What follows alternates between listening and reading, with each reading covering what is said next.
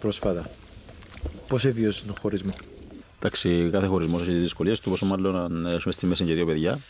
Οπότε για αυτόν ακριβώς τον λόγο για τα παιδιά αποφάσισα ότι θα παραμείνω σιωπηλός. Δεν έχω κάτι να μοιραστώ, κάτι περισσότερο να, να πω. Υπάρχει πάρα πολλοί κόσμος εκεί έξω που χωρίζει. Ε, και το να υπάρχει μια περιέργεια για το τι έγινε με τον Εκτέρον Κωνσταντίνα δεν θεωρώ ότι βοηθάς σε οτιδήποτε. Οπότε καλύτερα το αφήσουμε μέχρι εκεί. Νομίζω ότι κάθε άνθρωπος στο χωρισμό τον περνά δύσκολα και αυτό είναι αρκετό. Σημασία έχει πάντα η επόμενη μέρα.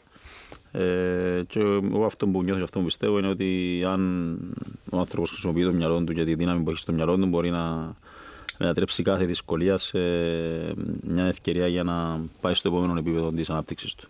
Όταν σταθεί στο ποδοσφαίρο σε ηλικία, όσο και προετοιμαστεί, όσο και σκεφτείς ότι είναι να κάνεις για να σου φέρουν εισόδημα, για να σου φέρουν δουλειά, για να κάνεις ναι. ε, το επόμενο βήμα.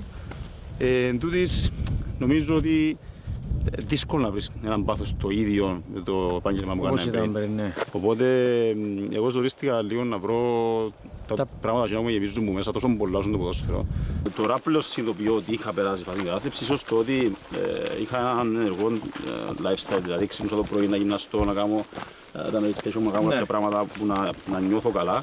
Και είναι περιόρισε στο βαθμό και δεν τα αφήσα να εξελιχθεί ώστε να χρειαστεί να κάνω κάτι παραπάνω. Uh -huh. ε, τώρα έρχομαι σε μια κατάσταση που γενικά έχω μια διαφορετική ευκαιρία και νιώθω ότι είμαι πιο κοντά στον εαυτό μου. Συνειδητοποίησα ότι α, τότε τελευταίους μήνες ας πούμε πιθανότατα ήμουν στην κατάσταση.